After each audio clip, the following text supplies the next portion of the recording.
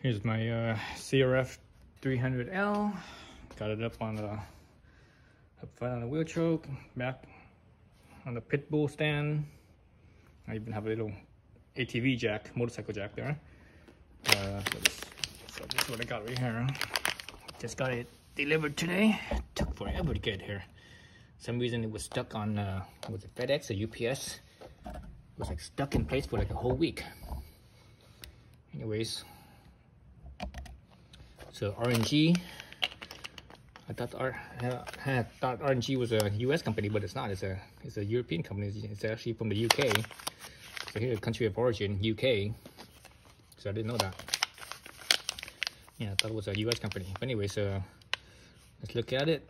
Let's open it up. Oh, it's in this Ziploc sealed bag. That's kind of cool.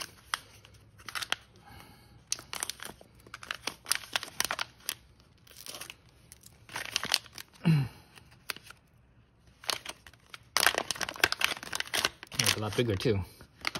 Damn, looks nice. So, as you can see, it's a uh, uh, foot pad. This way? Yeah, it's this way. No, it's, yeah, it's this way. It's a foot pad. So, uh, looking at it, I could tell it's, uh, it's been machined. You know, it's all CNC machine. I can see the pattern here, a little bit of the pattern. This right here is stainless. This top plate here is stainless. The bottom is aluminum. I'm not sure what type, but you know, that's a hefty weight too. And it's thick. Look how thick that is. That's that looks about three eighths of an inch, but you know this is from the European company, so they use me metric. So I have no idea what what the millimeters is. You know, I, I don't want to buzz out my calipers, so just eyeballing it. I say it's about three three eighths of an inch, approximately. So it looks like a three millimeter, I think. 3 millimeter Allen. uh,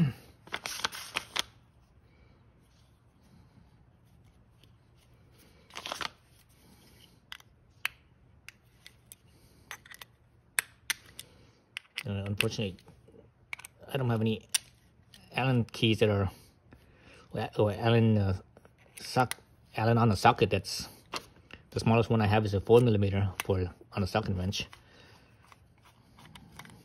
Maybe I should look look for a uh, look for a uh, socket wrench that are smaller that that fits on a uh, quarter inch drive instead of a three eighths inch drive. Because that again, my the smallest one I have on a on a socket is a it's a four millimeter and it's uh, it's a three eighths inch drive. Uh, so I never actually never I don't think I ever bothered looking for a uh, socket that's uh, that's on a quarter inch. I should though. So much easier to use a socket than it is to use like a Allen key or this this this thing. This is for like a bicycle. This is like for like a bicycle. So that's that. I believe you stick this thing on the bottom here. Uh, I think. And from there, you just kind of push this up. Or maybe you don't stick that in the bottom. Actually, let's see. Let's look at the instructions. It looks like uh, something you would stick on the bottom, but putting on this on right here, you see right here, the the metal right here, the upper lip right here, actually sticks up slightly more, you know, like half a millimeter more than the actual uh, plate does. So if you put that foam there, it's gonna easily stick up probably two millimeters.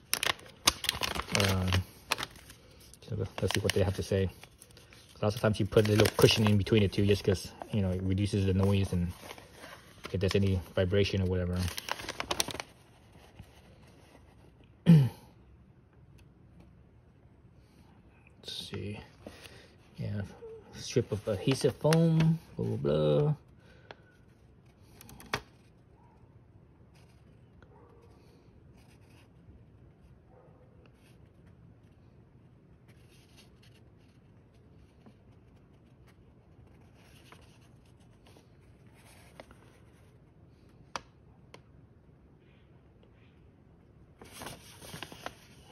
Okay only if the if fitting to older used stands where there's there's wear you know there's wear down here then then you use the foam to take up that space because as this wears you know it gets thinner right so that's what they say to take to use uh, to take up the space so that way it isn't tight fit. But the way it is right now, I mean, I've only had this thing for well, I've had it for a month now. Well, actually, I see a little bit of wear on this forward corner, but I've only had it for like a month, and literally this thing only has 50 miles, 60 miles.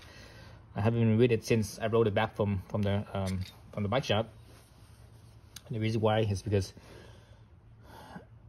you know, I have all the stuff that I'm I'm putting on it, and I want to do that when the bike's clean. I'm just too lazy to uh, to wash the bike. You know, I actually hate washing bikes, uh, so I'm too lazy to wash. But also, um, also, okay, yeah, sticks good. I need some Loctite on here. A, need a blue Loctite, I think. Sell a piece Loctite? Usually anything anywhere there's vibration, usually at the end of something that sticks out. Yeah, blue Loctite. Um, I, I think at the end of something, when something vibrates, when it's all the way at the end, it, it tends to vibrate even more. Um, so, go grab the Loctite real quick.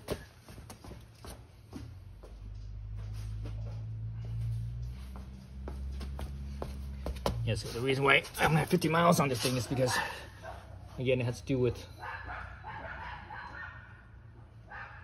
with the uh,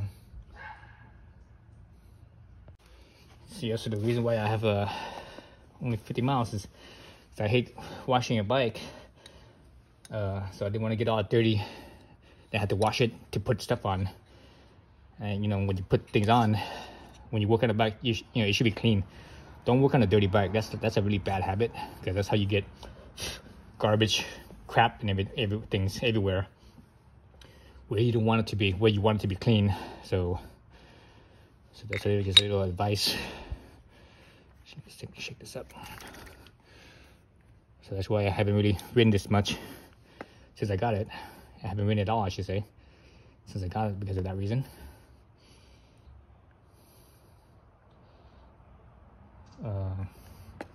Yeah, I didn't want to didn't want to have to wash it basically each time because uh, I hate washing bikes. It just takes forever washing a bike because it's you know it's not like a car where there's just a flat surface where you wipe and there's you know and you're good. When a bike, you have all those nooks and crannies and man, it's just too much work. I don't have time for that. So I usually only wash my bike once a year. I usually wash my bike at at the end of the rainy season, which is usually May sometime in May, uh, I wash my bikes. That's it. All the other time I don't. I just leave it as is.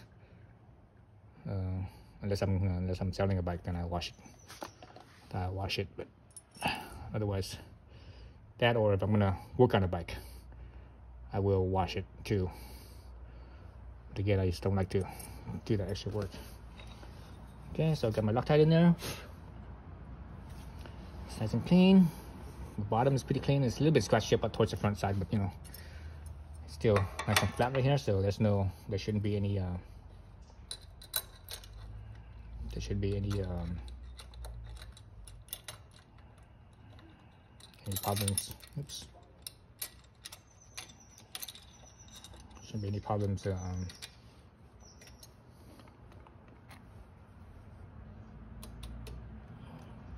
with the things, you know, being a, a loose fit where which rattle and such.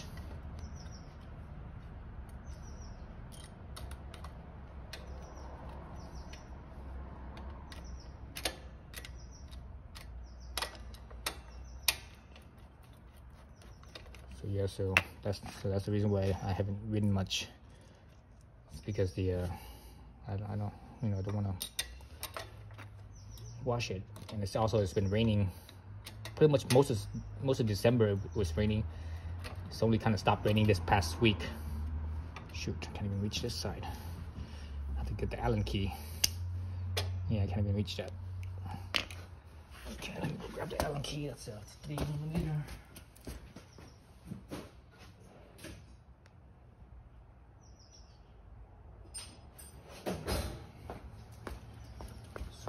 Keys I have. One of the sets I have is these short stubby ones.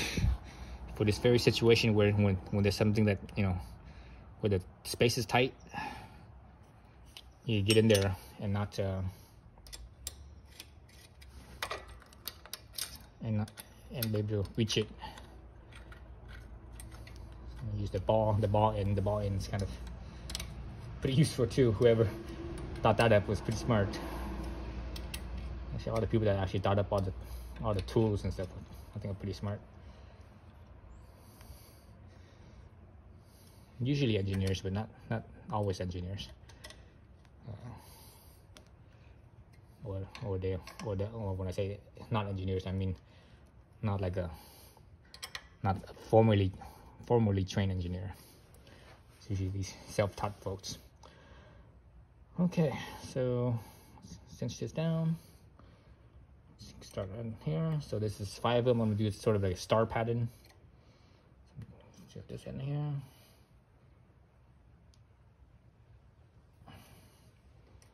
end, or actually I should say the, the the ends that have the long the furthest apart from each other. Basically, as far as how how tight I'm doing it, watch watch how I'm doing it. I just uh, oops, just like right here basically, and I feel and also see a little bit of flex in my uh, especially when the, when you're using a thinner Allen key, you know, it flexes a certain amount, and that's about it. I'm like, okay, that's good. Again, this thing is uh, gonna be locked. It's, you know, it's Loctite anyway, so it should shouldn't. Uh, you, know, you don't want to get it too tight because when you take it off, you have to not just fight the uh, the tightness of the how tight it's on, but also fight the Loctite. And with a small little screw um, and head like this, you might not be able to take it off because this well, not the tool, but the, the head itself, the, the screw head itself might strip on you. So take it easy on that. So that's it. That's the R&G. That's a really nice piece. Very nice piece.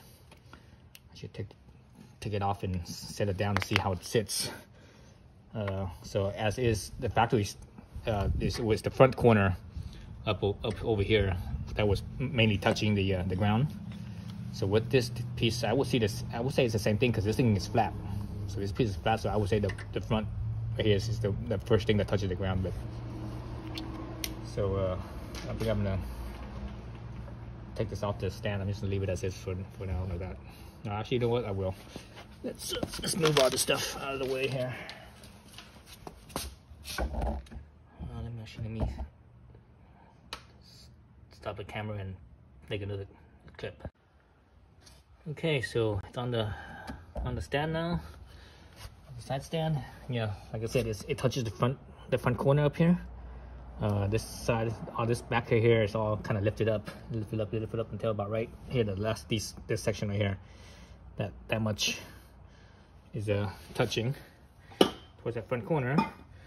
But also because of the thickness it actually raises the uh it raises the uh the back a little bit so that's good uh but then you know i i have I have been rear, you know, at least a new rear shock anyways. I'm gonna put in uh, front springs uh, soon. Uh, you know, because the, the, factory springs are pretty soft, so it, so the bike actually, because of the soft, you know, how soft it is, it leans the bike even more. Right? It leans the bike even more when you park it, but uh, uh, compared to factory, because factory is soft, so so uh, it squishes down a little bit. But with the new new spring setup I have it's firmer so it, it's gonna it won't squish the bike the suspension won't squish down as much. So the, the bike itself will actually lean more because it's not squished as much uh, with this with this thicker uh, thicker uh, foot peg here or not foot peg um, foot stand since it's a little thicker it will help straighten up the back slightly uh, but it's still it's still leaned over pretty good, but that's all right. I'm okay with it. So that's it. Uh, well, this is a really nice piece, nicely made, uh, you know, machined and everything. And even this top silver stainless part right here, it's uh, well, it's made from a sheet, like a like a 16 gauge or something like that sheet.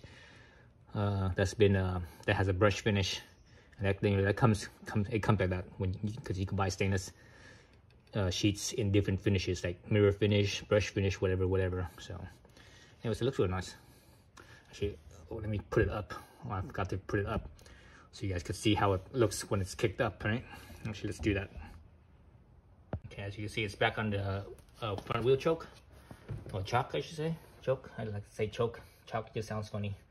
Uh, let's kick this up. Right there. Okay. So let's see how much space we have here. Uh, so we've got a pretty good amount of space. Right.